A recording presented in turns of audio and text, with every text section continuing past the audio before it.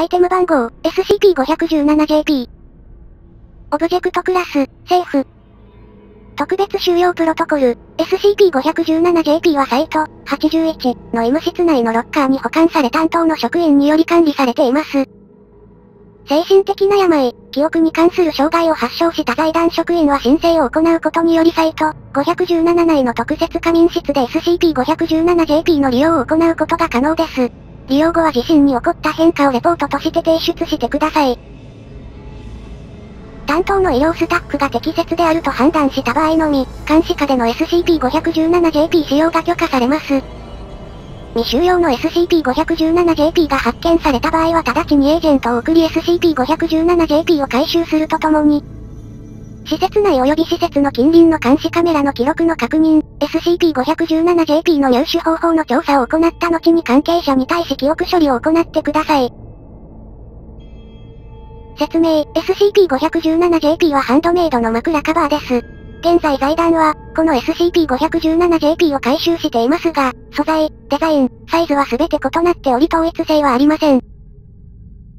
SCP-517JP の内部に使用される芯材の種類は SCP-517JP の異常性に影響を与えません。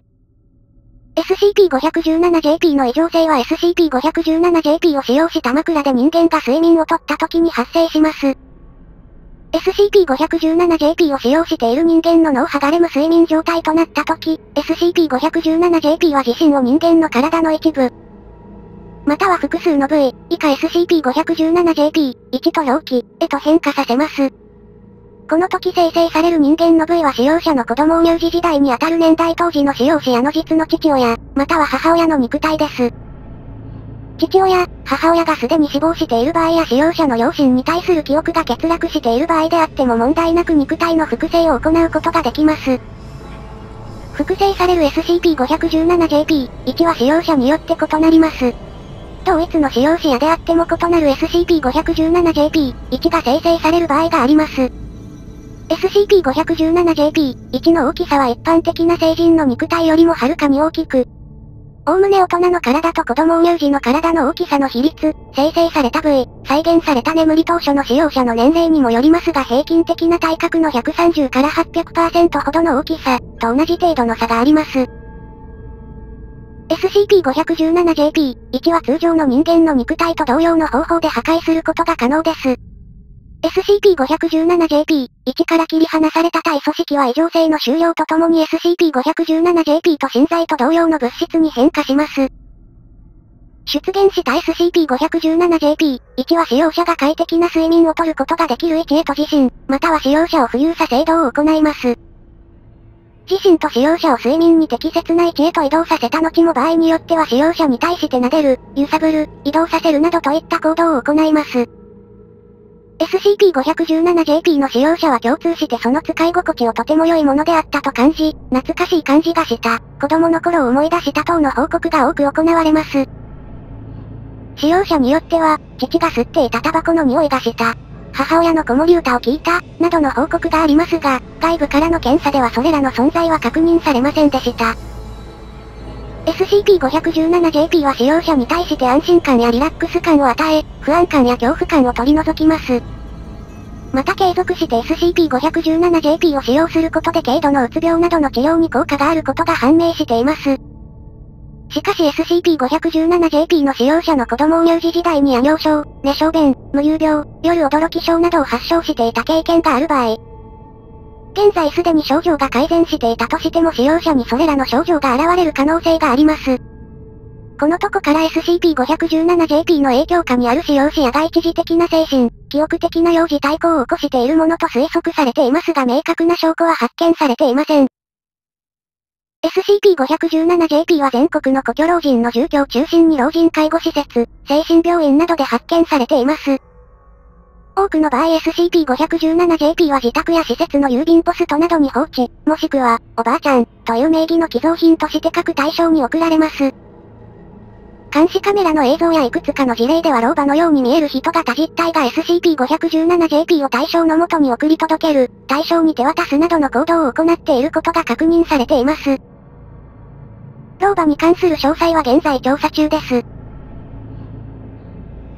実験記録すべての実験は実験室内に設置された記録機器を取り付けたベッドの上で行われました。実験記録1、日付2000年、月、日。対象、D517001。出現した SCP-517JP、1。女性のようで、胸部。結果、SCP-517JP、1は D517001 の体を抱えるように持ち上げた。D517001 が睡眠をとっている間 SCP-517JP、1は時折 D517001 の背中を撫でる、揺さぶるなどの行動を行った。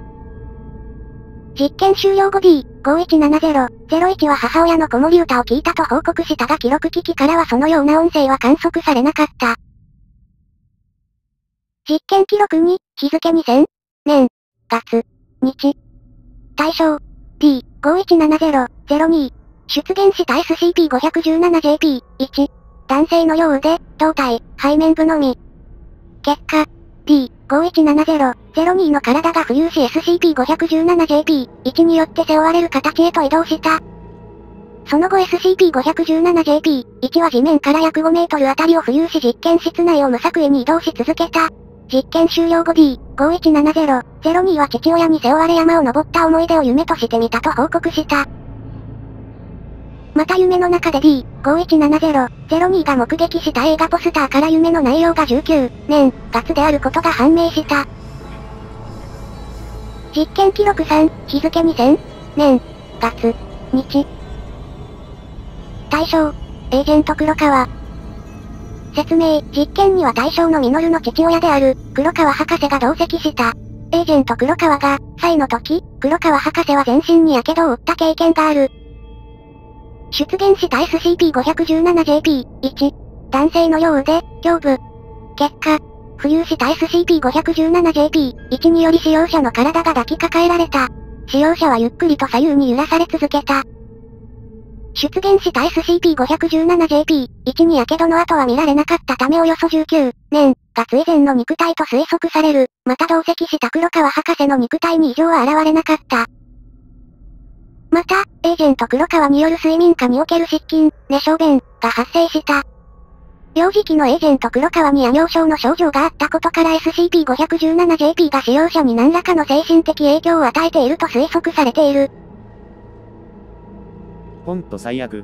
せめて名前だけでも伏せることはできないの？エージェント黒川。その後の全ての実験では SCP-517JP の使用者に成人用おむつを着用させた上で実験が行われた。実験記録4、5回では夜尿症の発生はないものの上記の実験と同様の結果であった。実験記録6、日付2000年、月、日。対象、エージェント黒川、出現した SCP-517JP、1、男性の下半身。結果、使用者は SCP-517JP、1の股間部を枕として使用、時折 SCP-517JP、1の規約部を抱きかかえるような姿勢をとった。生成された SCP-517JP、1から観測された火傷の後からおよそ19年以降の肉体ではないかと推測された。やはり SCP-517JP1 が複製する人間の部位に時間的なばらつきがあるという推測は正しかったようだ。黒川博士。それって別にこの実験記録じゃなくてもいいでしょ？似たような結果になるまで実験に参加するから別の実験記録と差し替えてよ。エージェント黒川。実験記録7、日付2000、対象、D517003。説明、D517003 は他の実験中の事故により自身の名前を含む記憶の大部分を欠落している。出現した SCP-517JP1、女性の下半身。結果、SCP-517JP1 は自身を D517、3の頭部の下に差し込み膝枕のような姿勢をとった。実験終了後 D5170-03 はどこか見覚えのある女性に耳かきをされた夢を見たと報告した。また、自身の名前や子供時代に過ごした土地の名前などいくつかの記憶を取り戻すことに成功した。調査の結果、D5170-03 の耳穴から老廃物が消失していることが判明した。D517-3 は最近耳掃除をした記憶はないと証言している。その後、繰り返し SCP-517JP を D5170-03 に使用させることによって約10歳以前の大まかな記憶を取り戻すことに成功した。実験記録8、日付2000、対象、D5170-04。説明、D5170-04 は自身の父、母、祖母、弟を殺害した罪で逮捕されている。出現した SCP-517JP、1、女性の腹部を基本とした男女の肉塊。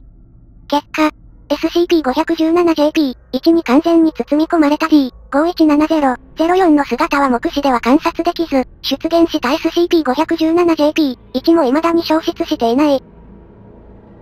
破壊を伴わない外部からの調査で D5170-04 は SCP-517JP、1の子宮にあたる部分で一般的な胎児とほぼ同様の環境下で生存しているが、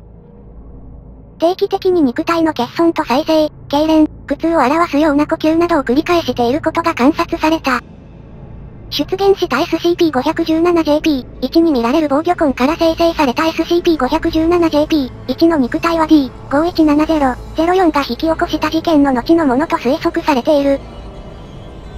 D5170-04 の覚醒及び回収する試みは全て失敗している。現在 D5170-04 と SCP-517JP-1 は実験に使用されたベッドと共に長期実験用チャンバーへと移動され観察が続けられている。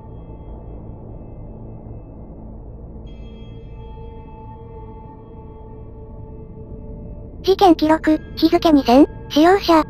研究員。説明、研究員は SCP、JP との接触により引き起こされた乖離性健忘症の治療のため SCP-517JP の使用が許可された。